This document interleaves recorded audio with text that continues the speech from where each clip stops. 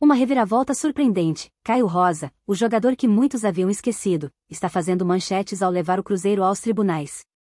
Caros torcedores do Cruzeiro, antes de prosseguirmos, pedimos seu apoio, inscreva-se no nosso canal e deixe seu like para continuarmos. Caio Rosa, o meia que mal estava na memória da torcida do Cruzeiro, decidiu processar o clube, alegando que está sendo injustiçado financeiramente.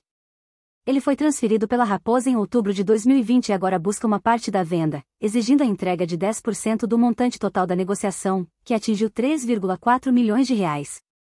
Vendido ao Sharjah, dos Emirados Árabes Unidos, por 3,4 milhões de reais, Caio Rosa passou pelo Cruzeiro de maio de 2018 a outubro de 2020. Segundo o próprio jogador, tanto ele quanto o clube concordaram com uma cláusula contratual que previa o repasse de 10% dos direitos econômicos para o jogador, mas essa cláusula só seria acionada em caso de venda do jogador. O processo legal está em seus estágios iniciais, e o Cruzeiro ainda não foi oficialmente notificado. Ambas as partes optaram por não se manifestar até o momento, mas é provável que tenhamos mais informações em breve. Aos 22 anos, Caio Rosa atualmente joga pelo Al-Amria.